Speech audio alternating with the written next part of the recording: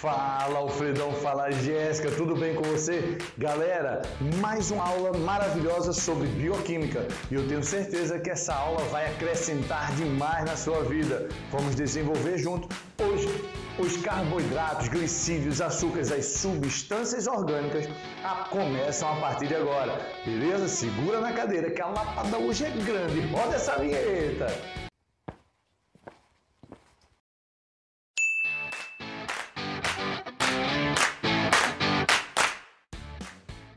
Muito bem, Alfredão, muito bem, Jéssica. Segura aí que a gente vai falar bastante hoje, beleza? Primeira coisa que eu quero que você lembre é que a gente vai tratar hoje sobre uma moléculazinha chamada de carbono. E você deve lembrar que o carbono é uma família de que família 4A?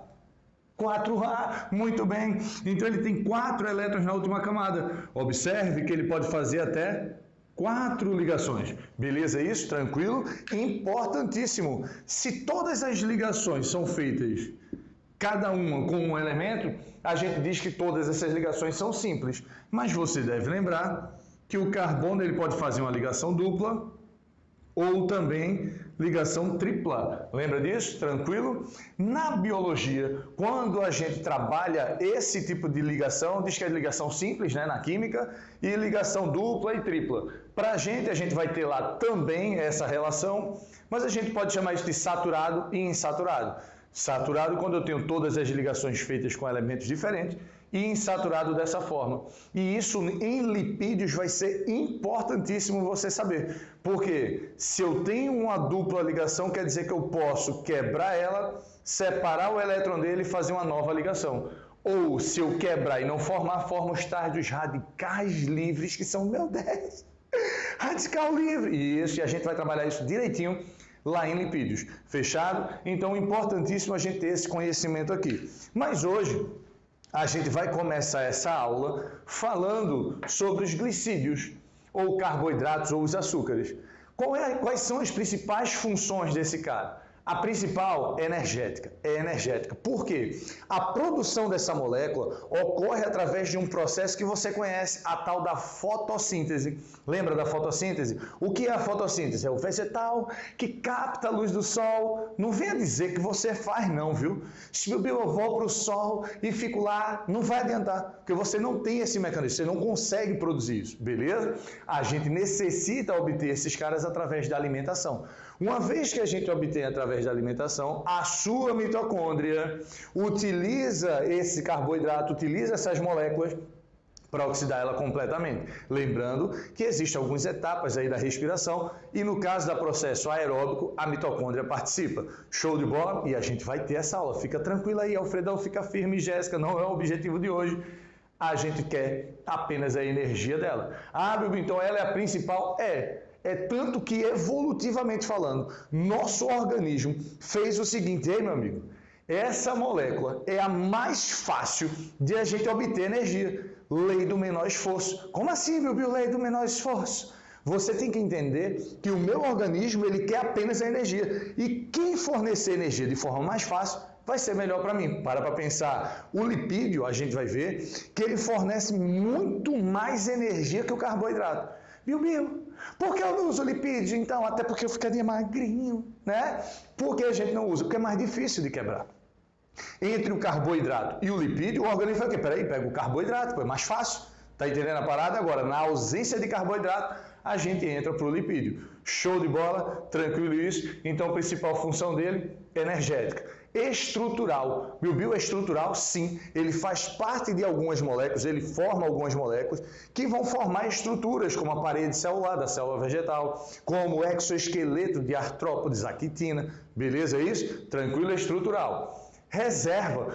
Como ele fornece energia, eu não vou pegar, por exemplo, quando você come, você se alimenta. Imagina se você se alimentasse, toda a energia da comida fosse utilizada. Então, vai chegar uma hora que acabar, não é não? Então eu pego isso, parte disso eu já utilizo para produzir energia e outra parte eu armazeno. Então ele serve também como reserva.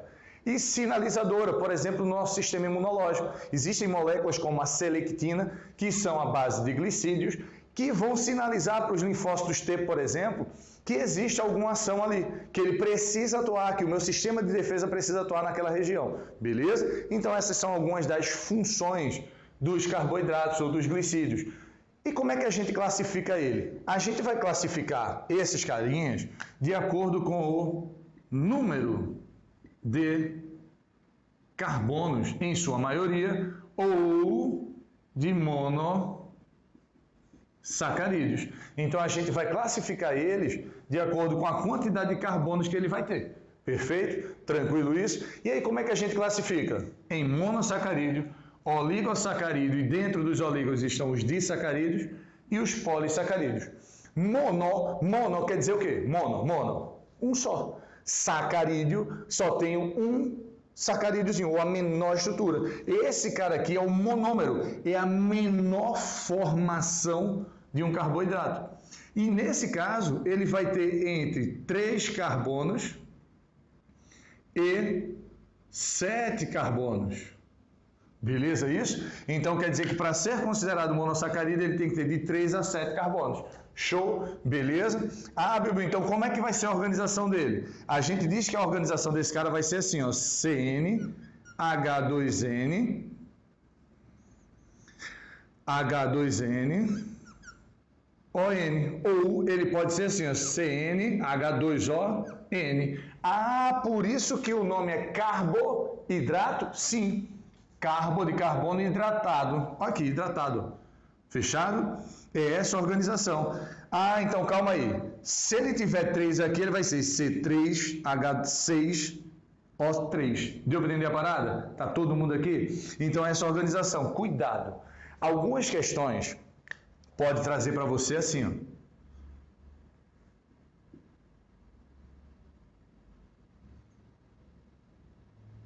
Alguma coisa nesse sentido. E aí você, oxe, C4, ó, é um carbono, quatro carbonos é um monossacarídeo. Ei, ei, ei. Foi ou não? Observe tudo, viu? Se não for esse padrão, não é monossacarídeo. Cuidado com isso. Show de bola? Então, já caiu questão desse tipo aqui. Bill, quando ele tem três carbonos, como é que a gente classifica? A gente chama ele ó, de triose.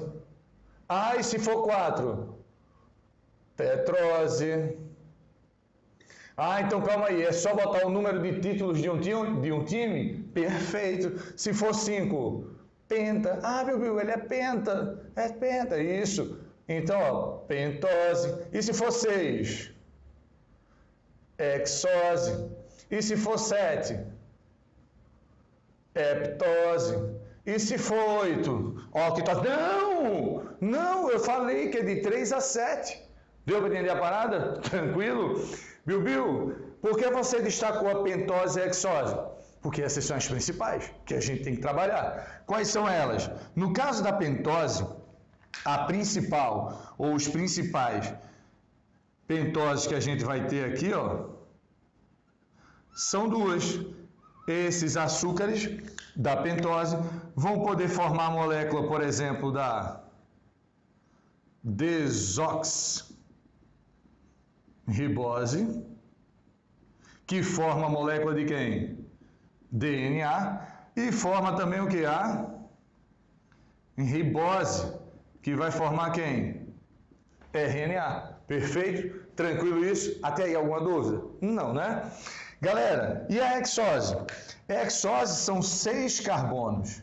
Esses seis carbonos são os principais, né, no caso aqui dos monossacarídeos, as, os principais monômeros que vão ser utilizados na formação ou na produção de energia, como a glicose, a frutose e a galactose. Beleza? Dentre eles, esse aqui, ó, é o principal. É o que mais a gente vai trabalhar. A glicose vai ser o mais importante para a gente aí. Não quero dizer com isso que esses caras não são utilizados. Sim, por exemplo, a galactose vai ser encontrada no leite, vai ser um dos principais glicídios, né, carboidratos, monômeros, encontrados no leite. Lembre-se que vai ocorrer a fusão com outra, a união com outras moléculas, mas a gente vai falar sobre isso já já. a frutose. Bibi, onde é que a gente usa a frutose? O esperma. O esperma apresenta o espermatozoide que tem mitocôndria para gerar energia e movimentar o flagelo. O carboidrato utilizado por essas mitocôndrias, frutose. Deu para entender a parada? Tranquilo? E na maioria das células a gente vai ter a principal fornecedor de energia, a glicose, que é o que a gente vai trabalhar na maior parte dos processos metabólicos. Show de bola? Tranquilo até aí? Redondinho? Galera, então os monossacarídeos, eu preciso muito saber disso. Porque esses caras aqui vão ser as principais partes, ou as principais porções que, por exemplo, a gente vai assimilar. Quando você se alimenta, você se alimenta de macromoléculas. O processo da digestão quebra essas moléculas e a gente absorve. Então, quando eu falar de monômero, eu estou falando da menor parte funcional daquela estrutura.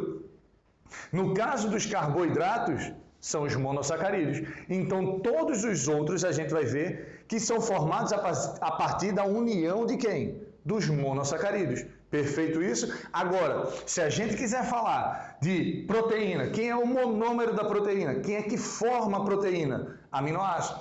Se a gente quiser falar dos ácidos nucleicos, o DNA e RNA, por exemplo, quem é que forma esse cara? Os nucleotídeos. Beleza isso? Tranquilo? Outro, se a gente quiser falar de, uma, de um prédio, de uma casa, o que é que forma ele? Tijolos. Deu para entender a parada? Então, o monômero é a menor unidade funcional daquela estrutura. Perfeito? Bilbil e oligó. Oligó, o termo oligó quer dizer poucos. Ó, pouco. Nesse caso aqui, esse cara vai apresentar quantos glicídios? No caso agora, eu paro de contar o número de carbonos. Agora eu vou utilizar o quê? O número de glicídios. Quantos monossacarídeos esse cara tem? Ele vai ter aqui, ó, de 2 a 10 monossacarídeos. Deu para entender a parada? Ah, Bibi, então calma aí. A partir de agora, eu começo a contabilizar o número de monossacarídeos que ele possui? Perfeito. Show de bola? Dentre esses oligosacarídeos, os mais importantes são os disacarídeos, os mais relevantes para a gente estudar. Quem são os disacarídeos? Aqueles que possuem dois monossacarídeos. Deu para entender a parada? Quais são eles? Se eu unir, por exemplo, glicose mais glicose, vai dar o quê? Vai dar maltose. Ah, tá entendendo que eu estou juntando as paradas? eu estou juntando os monossacarídeos. E se eu juntar glicose mais frutose? Vai dar o quê? Hum, sacarose. Ah, e se eu juntar glicose mais galactose?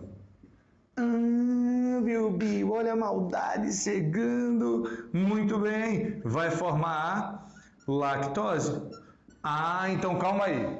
Se eu unir monossacarídeos, eu vou formar o disacarídeo. Bill, Bill, e como é que eu faço para separar esses caras de novo? Ação o quê? Enzimática. Como é o nome da enzima? O nome da enzima se dá basicamente pelo nome do substrato e eu troco o ose por ase. Quer ver um exemplo? Olha aqui, ó. A maltose vai ser quebrada por quem? Quem quebra a maltose? Muito bem. A maltase. Beleza isso? Quem quebra a sacarose? Sacarase. Quem quebra a lactose? Muito bem. Lactase. Ah, então as enzimas que nós produzimos lá no nosso sistema digestório são os responsáveis por quebrar essas moléculas, que embora não tão grandes, mas para eu absorver quanto melhor, quanto menor, melhor, eu consigo quebrar elas separando os monossacarídeos. Perfeito. Deu para entender? Só que eu queria um detalhe importante. Pega um post-it, pega um post-itzinho para a gente anotar. Essas enzimas no nosso sistema digestório, a gente vai trabalhar isso lá no sistema digestório, mas eu já quero acrescentar isso aqui logo para você. Elas são classificadas como enzimas quantitativas. Biu, o que é uma enzima quantitativa? É aquela que a sua produção é proporcional à quantidade do substrato ingerida. Como assim? Se eu tenho muitos de, se eu tenho muita maltose, o meu organismo entende, opa, preciso produzir muita maltase. Se eu tenho contato com muita sacarose, produzo muita sacarase. Se eu tenho contato com lactose, lactase. Deu para entender a parada? Ah, Bibi, então calma aí. Se eu reduzir o contato, eu reduzo a produção? Perfeito. Essa é a ideia. Então, o que eu quero que você entenda é justamente isso. Eu quero que você entenda que quanto mais desse cara eu tenho contato, mais eu produzo da enzima. Pasmem comigo. Qual foi o período da sua vida que você mais tomou leite? Hoje de manhã bebeu dois litros. Calma, eu estou falando continuamente. Foi lá na fase da infância, não foi não? Na época era bebezinho lindo, maravilhoso. Produzia muita lactase. Com a introdução alimentar, a gente começa a ter contato com outras substâncias e reduzir a quantidade de, de lactose que a gente entra em contato. A tendência era que a gente parasse. Só que aí a gente toma leite devagar. Ei, rapidinho, rapidinho, rapidinho, rapidinho, rapidinho. Vamos fazer. Calma aí, Alfredão, calma, Jéssica. Segura o seguinte. Me fale outro mamífero que depois de velho toma leite. Você já viu o touro chegar para a vaca e mu, me deu peito aí? Não, e o cachorro? Não tem. A gente só precisava tomar leite naquela fase. Todo mundo, todos os mamíferos param de produzir a lactose, a lactase. Deu para entender a parada? Bill, e por que a gente toma? Não sei, é porque é gostoso, né?